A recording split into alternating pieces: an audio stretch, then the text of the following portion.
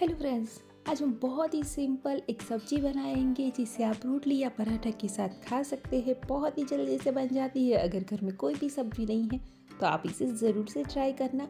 तो सबसे पहले दो चम्मच हम ऑयल ले लेते हैं। उसमें एक चम्मच जीरा ऐड कर देंगे, हींग और हल्दी पाउडर ऐड कर देंगे। जीरे को अच्छी तरह से हमें ऑयल में सौते कर लेना है। उसके बाद हम अनियन ऐड कर देंगे। तो मैंने यहाँ पे एक बड़ा सा अनियन लिया है। अगर आपका अनियन छोटा है तो दो अनियन आप ऐड कर सकते हैं। इसी तरह आपको छोटे साइज़ में इसे कट करना है। अनियन को हम कुक कर लेंगे करीबन एक से दो मिनट।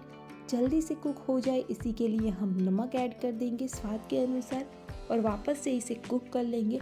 तो अनियन को हमें पूरी तरह से कुक नहीं करना है। करीबन एक से दो मिनट ही कुक करना है। उसके बाद हम पोटैटो ऐड कर देंगे। तो यहाँ पे मैंने छोटे छोटे टुकड़ों में ही कट करके पोटैटो को लिया है। उसे भी हमें अच्छी तरह से मिक्स कर लेना है। अगर बड़े टुकड़े रहेंगे तो इसे कुक होने में ज़्यादा टाइम लगेगा। अब इस तरह से हम ढक्कन ढक के 15 से 20 मिनट के लिए इसे कुक कर लेंगे। बीच बीच में आप चेक करते रहना कि कुक हो चुके हैं या नहीं। तो आप देख सकते हैं कि 15 से 20 मिनट के बाद हमारे जो आलू है वो भी अच्छे से कुक हो चुके हैं।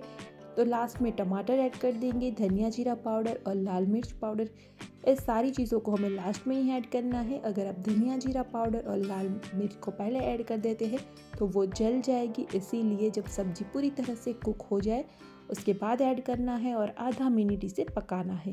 तो हमारी सब्ज़ी बन के तैयार हो चुकी है। इसे ले लेते हैं हम सर्विंग प्लेट में और ऊपर से थोड़े से धनिए से गार्निश कर लेते हैं।